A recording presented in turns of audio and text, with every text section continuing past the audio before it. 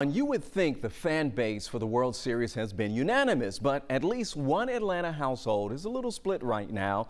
Tricia Collie lives here in Atlanta, but her husband David is from Houston and primarily an Astros fan. Well, she admits that the Astros are the family's second favorite team. So, when it lined up for the Braves to take on the Astros in the World Series, she called it a dream scenario.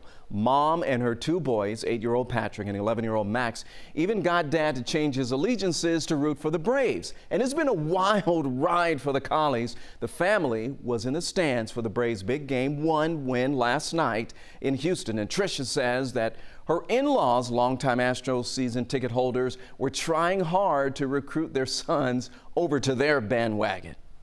I was worried how the game was going to go down if they were going to secretly make the kids wear Astros gear to sit in their seats. But they, they supported the jerseys and even the pearls. I was we were relieved to get to wear the Braves gear. And also when we were leaving Houston, uh, my dad's mom, he said, "I know y'all are gonna switch to Houston because they're the because you want to cheer for the winners. Oh boy, a lot of trash talking going on here. Well, the Collies were at the game on Friday night cheering on the Braves. As for his Astros backing grandparents, Max says he may be able to swing them over to the Braves fans as well.